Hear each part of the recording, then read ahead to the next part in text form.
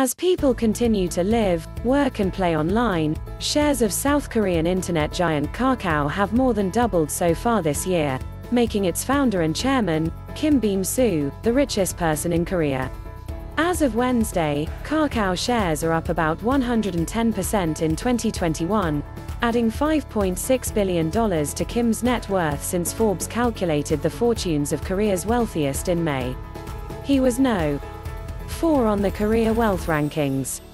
The self-made entrepreneur currently has an estimated net worth of $16.2 billion on the real-time billionaires list, $3 billion more than Celltrion co-founder Seo Jung Jin, who was Korea's richest person but is now at no.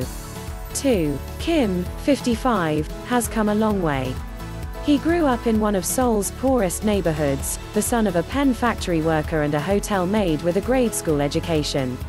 The third of five children, and the eldest son, he and his siblings were raised in a one-bedroom apartment by their grandmother as their parents worked to feed them. Kim paid his way through college by offering private tutoring, sometimes skipping meals to save money. In March, Kim signed the Giving Pledge, a campaign launched in 2010 by Bill Gates, Melinda Gates and Warren Buffett to encourage wealthy people to give away at least half their wealth.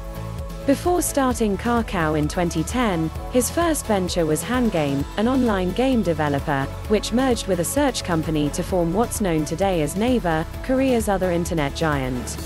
Kim launched Hangame after spending five years grinding away inside Samsung's IT services group until the first dot-com bubble lured him away.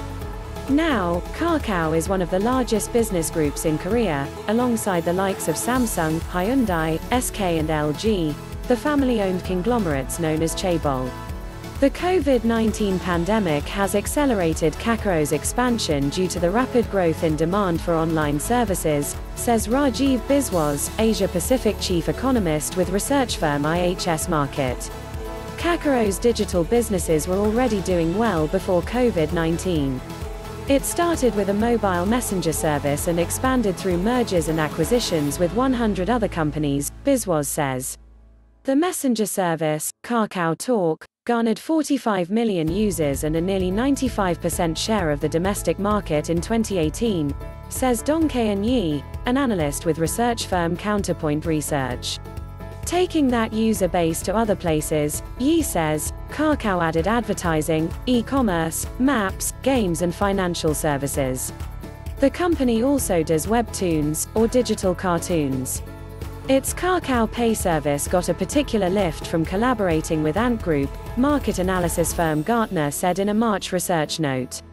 Ant helped Kakao with QR codes, facial recognition technology and a payment engine, the report noted.